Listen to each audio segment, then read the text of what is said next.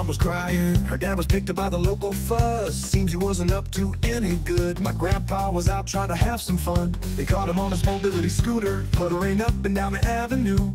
It was after six o'clock in the evening, and he didn't have much to do. Grandma was out playing bingo at church, and Grandpa was feeling randy as he approached the wall and he wanted to talk to. He made a very big mistake.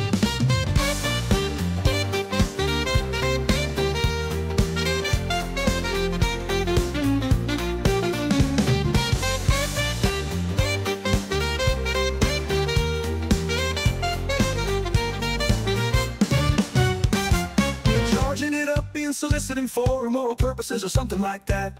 You see, Grandpa had stopped the proposition an undercover cop that night.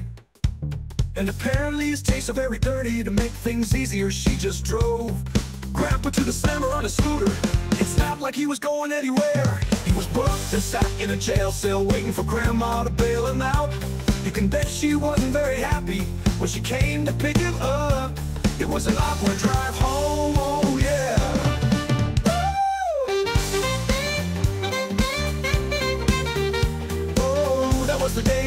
grandpa went to jail. He really shouldn't have been out at all that day all by himself. Whoa, and propositioning an undercover cop for sex wasn't a great idea either. But it was the night grandpa went to jail for solicitation, and things were pretty awkward. Boo-hoo, grandma wanted to get a divorce. They've been married for 50 years. Grandpa said he was just asking for directions, but no one really believed that. You only live once in this life, better make the most of it. Just don't proposition undercover cops for sex, for sex. For sex. Whoa, whoa, whoa, oh yeah. Don't be like my grandpa, you'll be fine. Grandpa hired himself a pretty decent defense attorney. They appeared before a judge to argue for his freedom.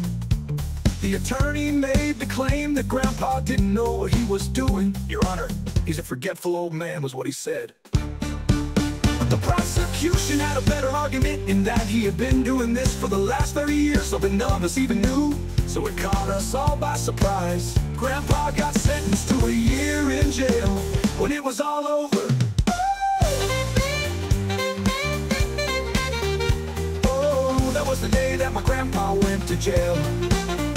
Shouldn't have been out at all that day all by himself. Whoa, and propositioning an undercover cop for sex wasn't a great idea either. But it was the night Grandpa went to jail for solicitation, and things were pretty awkward. Woo-hoo, Grandma wanted to get a divorce. They'd been married for 50 years. Grandpa said he was just asking for directions, but no one really believed that. You only live once in this life, better make the most of it. Don't proposition undercover cops for sex, for sex. For sex. Whoa, whoa, whoa, oh yeah. Don't be like my grandpa,